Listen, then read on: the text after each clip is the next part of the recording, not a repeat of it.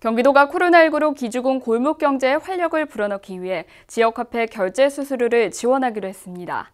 자체적으로 지역화폐 추가 할인을 해주는 점포가 대상입니다. 누이 좋고 매부 좋은 격입니다. 어떤 내용인지 최지영 기자가 리포트로 설명해 드립니다. 모처럼 사람들로 북적이는 시장통. 지역화폐 결제 시 5% 추가 할인이란 피켓을 내건 가게가 한 집 걸러 한 집 꼴입니다. 지역 카페 쓰시는 분들이 실제 얼마나 있는지 좀 궁금하거든요. 그것이 한 60%, 70%는 된다고 봐야 돼. 한 일주일 전부터 많이 나오셔요. 재난 기본소득이다 뭐다 해서 요새 지역화폐로 내는 사람들이 부쩍 많아져 이 시작은 자체적으로 지역화폐로 물건을 사면 값을 더 깎아주기로 한 것.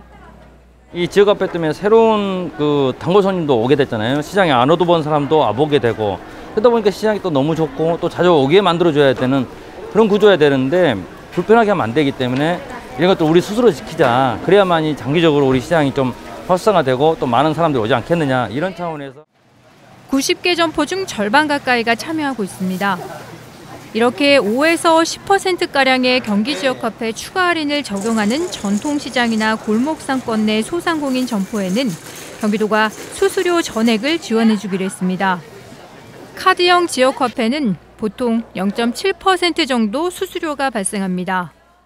소비자의 경우 우수 가맹점을 방문할 경우 5%의 자동 할인을 받으실 수가 있습니다.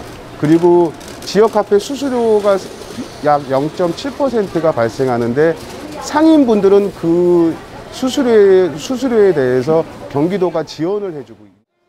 이렇게 되면 사는 사람은 더 싸게, 장사하는 사람들은 수수료 부담을 줄일 수 있습니다.